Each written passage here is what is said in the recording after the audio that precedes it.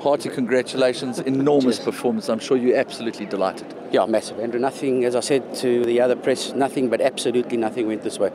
I mean, he, this horse could have spat the, spat the dummy out at the top of the straight and run nowhere. But he fought and he got into a duel as well. He was a duel on the turn, he was a duel in the straight. Massive win.